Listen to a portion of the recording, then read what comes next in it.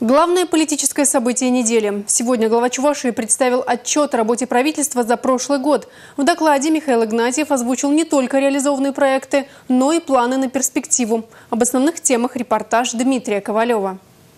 Текст доклада о деятельности правительства на официальном портале органов власти опубликовали уже накануне. Отчет на 50 листах командой республиканского Кабмина в прошлом году и действительно была проделана глобальная работа. Сначала Михаил Игнатьев озвучил показатели, которым регион стремился долгое время. Чуваши ликвидированы очередность детские сады для детей старше трех лет. Об этом вы знаете, я еще раз это подчеркиваю.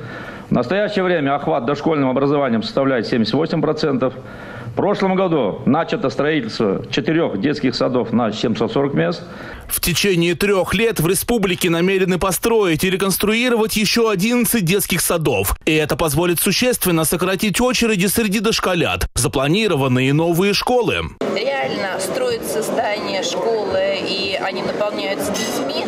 А, Все это следствие того, что идет демографический рост детей, и нам нужно а, не переходить на вторую смену для того, чтобы не уронить качество образования. Прошлом году в правительстве сделали особую ставку на повышение качества оказания государственных и муниципальных услуг. Сейчас в Чувашии работает 29 МФЦ, а это 250 окон. В республике реализуют и масштабный проект по прокладке оптоволоконной сети.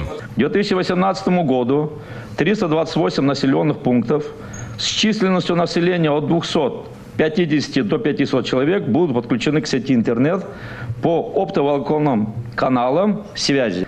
Национальная телерадиокомпания Чувашии продолжена целенаправленная работа по расширению зоны вещания телевидения.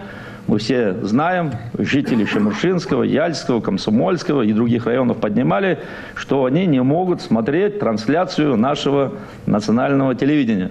Сегодня не только они, практически все регионы европейской части смотрят, отзывы хорошие. Чувашия – территория инвестиций. По итогам года в республике произошел промышленный скачок. Это повлияло и на доходы бюджета. По темпу роста собственных доходов республика на четвертом месте среди регионов Приволжского федерального округа.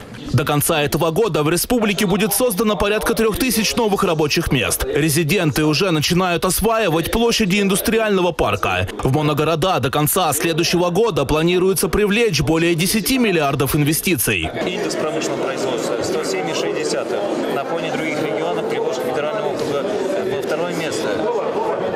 Аграрный сектор работает. Показатели э, занятости населения, они у нас не ухудшаются.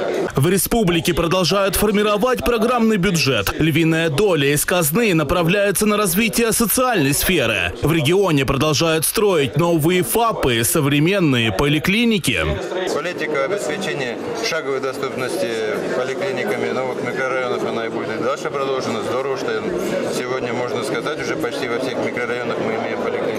В прошлом году были выкуплены площади за счет средств бюджета Чувашской Республики микрорайон Новый город. И в этом году также выделены финансовые средства для того, чтобы отремонтироваться и открыть, чтобы обеспечить медицинскую помощь шаговой доступности. Озвучив доклад, глава республики поблагодарил депутатов Госсовета за совместную работу. Приоритеты в работе правительства расставлены. Члены Кабинета министров обязаны эффективно решать задачи в интересах жителей. Чувашия должна сохранить статус социально стабильного региона. Дмитрий Ковалев, Андрей Шоклев и Андрей Спиридонов. Республика.